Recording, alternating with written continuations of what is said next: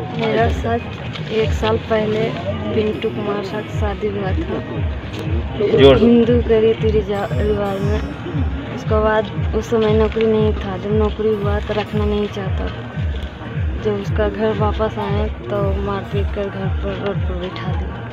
कहते हैं शादी दो दिलों का बंधन होता है। हमारे समाज में शादी को बहुत पवित्र माना जाता है। लेकिन अब इस कलयुग में शादी जैसे पवित्र रिश्ते को भी लोगों ने मज़ाक बनाकर रख दिया है। नमस्कार, मेरा नाम निशा ओझा है और आप D T W twenty four news देख रहे हैं। बेगूसराय से एक ऐसी ही घटना सामने आ रही है, जहाँ पर एक दुल्हन अपने ससुराल के बाहर सोमवार रात से धरना दे करके बैठी हुई है। वो कह रही है कि उसके पति ने उसे अपनी मर्ज़ी से शादी की, जिसको हमारे समाज में लव मैरिज कहा जाता है। लेकिन अब जब उस लड़के की नौकरी आर्मी में लग गई है तो उसको ससुराल वाले अपनाने से इनकार कर रहे हैं। मामला बेगूसराय के बछवाड़ा थाने का है। पूनम नाम की लड़की जो मोकामा की रहने वाली है, उसकी शादी 21 मई 2020 को हुई थी। लड़के का नाम पिंटू कुमार है। बताया जा रहा है कि पिंटू अपने रिश्तेदार के साथ हमेशा ही मुकामा आता था और इसी बीच पूनम उसको पसंद आ गई। दोनों ने 21 मई 2020 में शादी भी कर ली, लेकिन लॉकडाउन के बाद लड़की ससुराल नहीं आ पाई। जब वो सोमवार को अपने ससुराल पहुँची तो ससुराल वालों ने उसको घर में घुसने नहीं दिया। जिसके बाद वो अपने घर वालों के साथ ससुराल के बाहर धरने पर बैठ गई।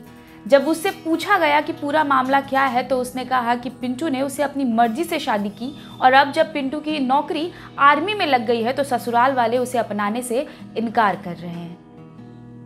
पूनम का एकमात्र सहारा अब पुलिस है। उसने एफआईआर भी की है, और ये मांग कर रही है कि उसे न्याय मिले।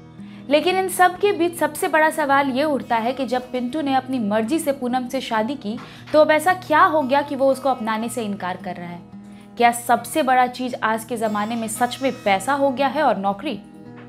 ऐसे में अब ये देखना होगा कि क्या इन सब के बाद पूनम को ससुराल वाले अपनाते हैं या फिर पूनम का कानून भी कोई सहायता नहीं कर पाएगी। मेरा साथ एक साल पहले पिंटू कुमार साथ शादी हुआ था। हिंदू के रीति रिवाज में। उसके बाद उस समय नौकरी नहीं था। जब नौकरी हुआ तो रखना नहीं चाहता था। जब उसका घर वापस आए तो मारपीट कर घर पर रोड पर बैठा दिया। बहरहाल, आप इसरो की तमाम बड़ी खबरों को देखने के लिए हमारे चैनल के साथ बने रहिए। अगर आप इस वीडियो को हमारे फेसबुक पेज पर देख रहे हैं तो हमारे पेज को लाइक कर दीजिएगा। अगर आप यूट्यूब पर देख रहे हैं तो हमारे चैनल को सब्सक्राइब कर दीजिएगा। बहुत बहुत शुक्रिया।